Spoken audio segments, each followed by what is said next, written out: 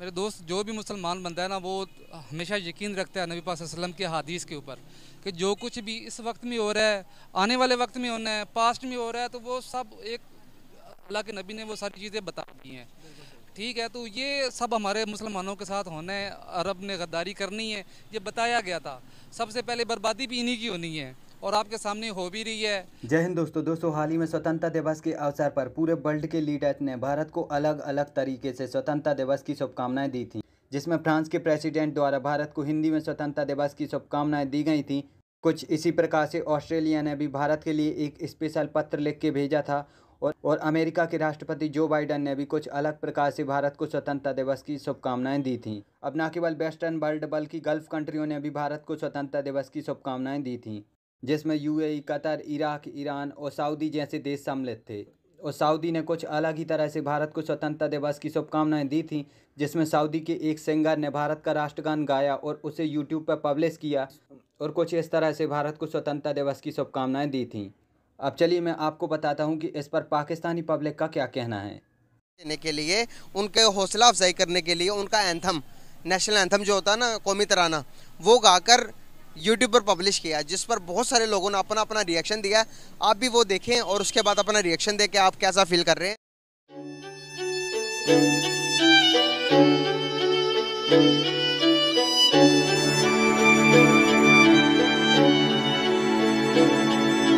जन जनगण मन अधिनायक जय है। भारत भाग्य विदाता पञ्जाब सिन्ध गुजरात मराठा सन्द गुजरात् विन्द्या हिमाचल यमुना गङ्गा ओच्चल जलधि तरङ्गा जलदि जागे। तव शुभ आशीष मागे। गाही तव जय गाता। एक मुसलमान होने के नाते कोई अच्छा फील थोड़ी आती है? आपको अच्छी फीलिंग आती है? मुसलमान इसमें कोई गलत तो नहीं है ना? दे उसके मुल्क के बारे में कुछ बता रहा हूँ। यार मतलब आपको भी पता है कि जो सऊदी अरब है वो एक मुसलमान कंट्री है और वो मुसलमानों को लीड करता है और उसकी मतलब लीडिंग मतलब वो रोल अदा करता है। ओ का भी वो चेयरमैन है। आपके सामने कश्मीर का इशू है इसराइल का उसका फ़लस्तीन का इशू है। तो वो ब्लाश करते हैं वो मारते हैं मतलब वो इतने जुल्म कर रहे हैं मुसलमानों के ऊपर। उनके खिलाफ ओ में, में कोई आवाज़ नहीं उठाई सारे लोग ऐसे भी हैं ना कि जो हम ट्रेड भी कर रहे हैं। सबसे ज़्यादा जो इंडिया ख़रीद रहा है जिस टाइम पेट्रोल है वो तेल है वो उससे ख़रीद रहा है सऊदी अरब से।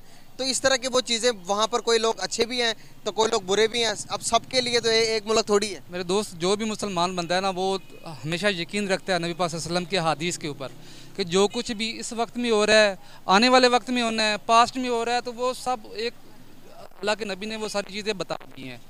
ठीक है तो ये सब हमारे मुसलमानों के साथ होना है, अरब ने गद्दारी करनी है, ये बताया गया था। सबसे पहले बर्बादी भी इन्हीं की होनी है। और आपके सामने हो भी रही है कि वो मतलब किस तरह के शोज़ करवा रहे हैं सिनेमाज खुलवा रहे हैं मतलब सऊदी अरेबिया की तरफ़ से एक पीसफुल मैसेज दिया गया है तो आप क्या कहोगे? तो बात तो बिल्कुल ठीक है और सबसे बढ़ के अलामा इकबाल ने लिखा हुआ ये तो फिर तो मेरा ख्याल अच्छी बात है फिर एक पीसफुल लेकिन फिर इंडिया को भी उस तरह से एक पॉजिटिव वे में ना रिस्पॉन्स शो करना चाहिए जो कि लाइक मैं सोशल मीडिया पे देखती हूँ हमारे अगेंस्ट वो बहुत ज़्यादा है।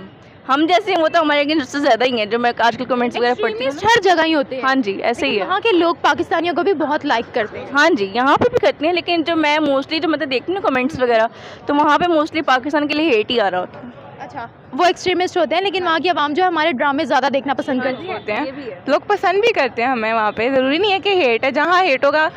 ऐसे तो है। मैं एग्री करती हूँ। आप क्या कहोगी? आप मुझे थोड़ी समझदार रही हो।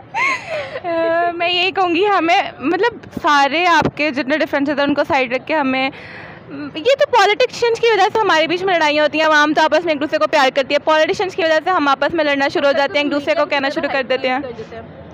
आपस में अगर देखें तो बहुत ज़्यादा लोग होते हैं जिनके बहुत ज़्यादा, जैसे कैनेडा हो गया, वहाँ पे अमेरिकन इंडियन सिख सारे साथ रहते हैं।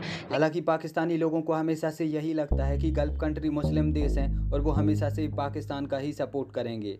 पाकिस्तान जो बोलेगा वैसा ही होगा और वो हमेशा से पाकिस्तान के फेवर में रहेंगे। तो वक्त बदलता जा रहा है क्योंकि हमेशा हर व्यक्ति को पैसे की ज़रूरत होती है और आज के दौर में पैसा ही सब कुछ होता है। इसलिए जहाँ पैसा होता है, डेवलपमेंट होता है, इंसान वहीं पर जाता है और यही हो रहा है गल्फ़ कंट्रियों के साथ। गल्फ़ कंट्रीज़ को भी समझ में आ गया है कि बहुत ही जल्द उनका खेल ख़त्म हो जाएगा और फिर उनके पास पैसे कमाने के लिए कोई ज़रिया नहीं बचेगा। हालाँकि इन सब चीज़ों पे आपका क्या कहना है, आप मुझे नीचे कमेंट में ज़रूर बताइए।